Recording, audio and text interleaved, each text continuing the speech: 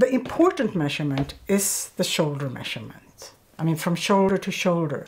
So how to how do you uh, choose then, and how do you measure? I find it impossible to measure on my own body. I find it impossible for somebody else to measure on my own body. It always becomes larger than you want. What you want to do is to take a sweater that you know fits you well, that you feel good in. It could also be a t-shirt that fits you well and that you feel good in, and where the shoulder seam falls where you want it to fall. And then you put it down flat on the table.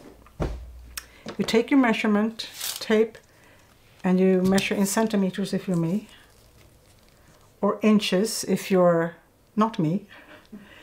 And you'll see that mine is 37 and a half here. And that sounds small, but that's what works for a normal size 40-42.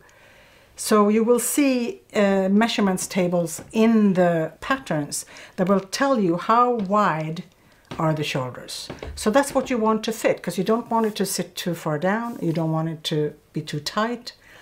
And then if you are larger or smaller around the bust, you can adjust that while you're knitting. So you knit and you can adjust how many increases you make before you separate for the sleeves.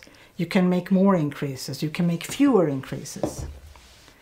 So that's my only little spiel on choosing the size. Choose it based on your cross shoulder measurement, not the bust. We can accommodate your bust and other things in other ways.